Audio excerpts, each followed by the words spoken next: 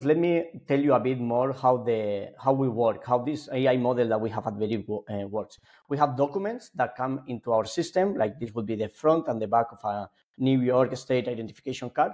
And from this, we detect these signals that I'll explain later in some of them more in detail.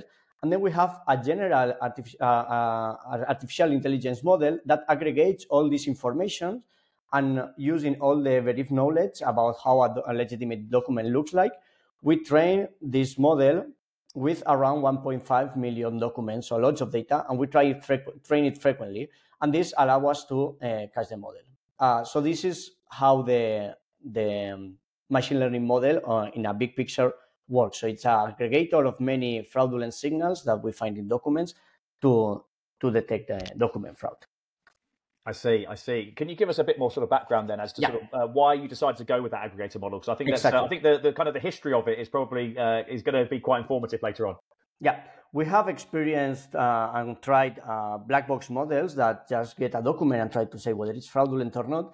But what we found is that by having all these signals uh, very well fine tuned and then aggregated together, the model that is generated after this allows or it's it's capable of cross linking and cross matching all the different uh, signals, and that gives a much better performance. In addition to that, by having all these signals separated and we knowing exactly where they come from, how, how they are computed, we can then query the model and ask, okay, what was the most important signal for this particular detection of fraud?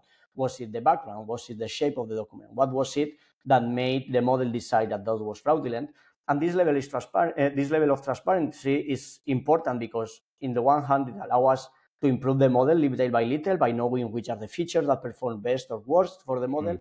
But also it allows us to inform our fraud operation teams of our specialists of what is uh, the fraud uh, that the, the model is finding and trying to find uh, uh newer strategies of monitoring those cases.